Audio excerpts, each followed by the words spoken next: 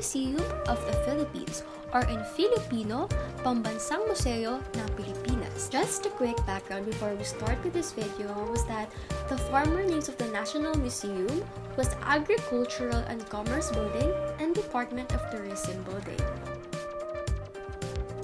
Did you know that the building was constructed in 1940 and designed in a neoclassical style by Filipino architect Antonio Toledo in the late 1930s? The National Museum was officially opened to the public last June 28, 2016.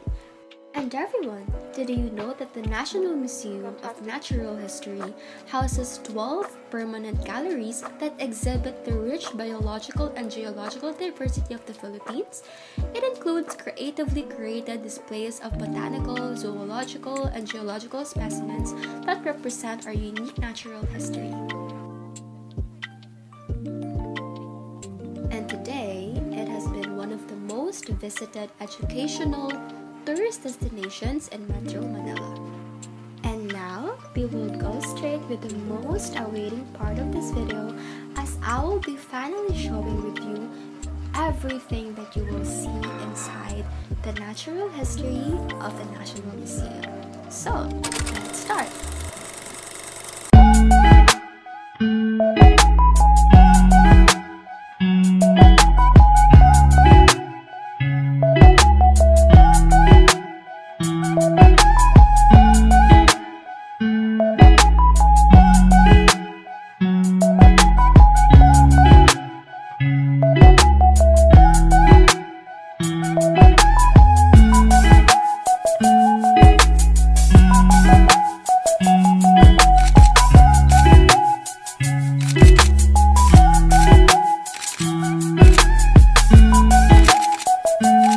San Gregorio Magno, or Saint Gregory the Great, was known as the father of Christian worship for his reform of Roman liturgy. He was pope from 590 to his death in 604. He systemized liturgical music which was given the name Gregorian chant. He is generally depicted wearing liturgical garments, such as in this canvas painting. Thank you.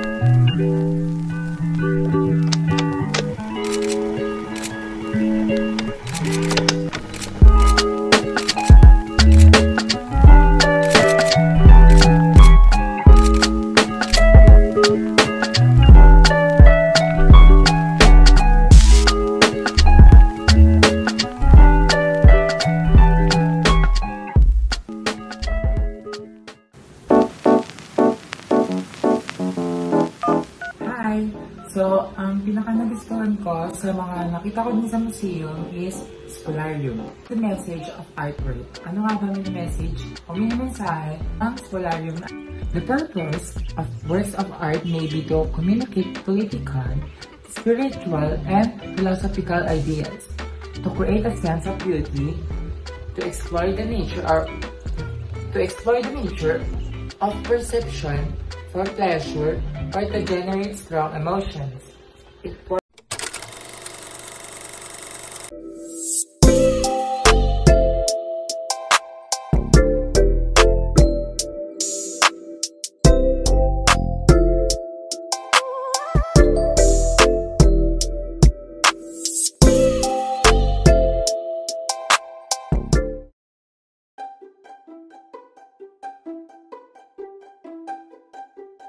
Sorry for using this video, but here's one of the most memorable moments I had while experiencing or strolling around the two museums. Here's the gallery that I was really interested in.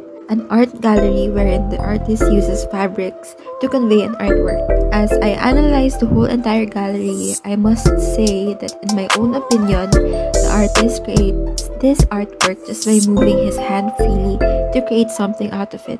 And if there's a story or meaning behind these artworks, I would be thrilled to explore it online.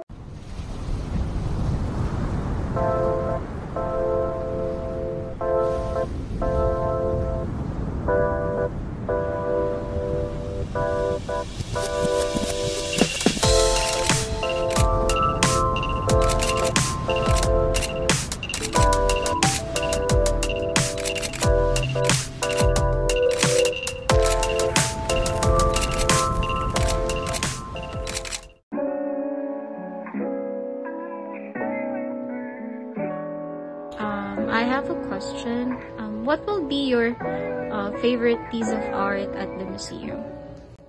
Um, one of the art that I like at the museum would be the Battle of Mactan.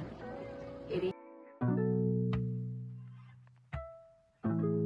a historical event that took over six centuries ago. Um, it is also first known and recorded of resisting of the Filipinos against foreign forces who tries to um, invade our country. Um, what else? Do you have anything else you would like to add? Um, I also like the um, painting of Dr. Jose Rizal. Um, our national uh, hero in the Philippines. Um, he created the novel of El Filibusterismo and also Noli Me Tangere. Um, with those novels, it helped our fellow Filipinos to open their eyes with the abuses or the wrongdoings of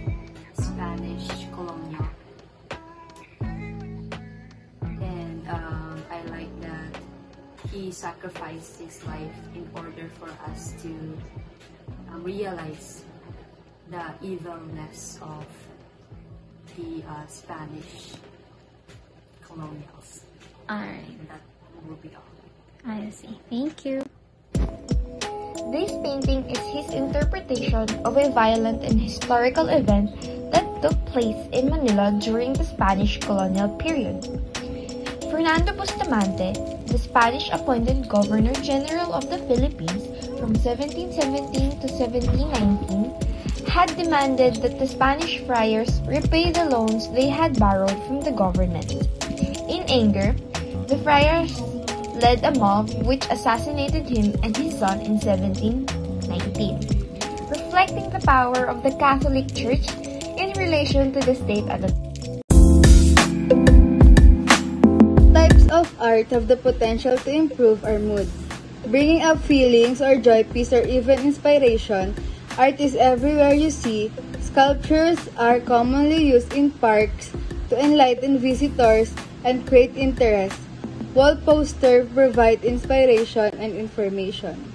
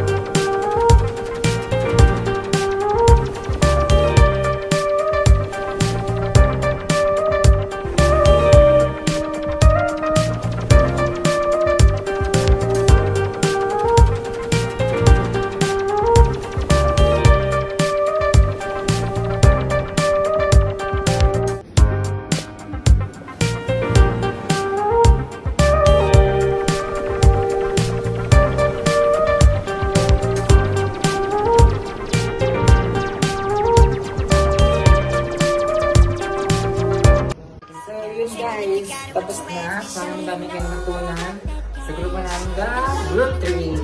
So, um, don't forget to hit the thumbs up. Uh, maraming maraming salamat sa panonood mo. And, ingat kayo lagi. Mm.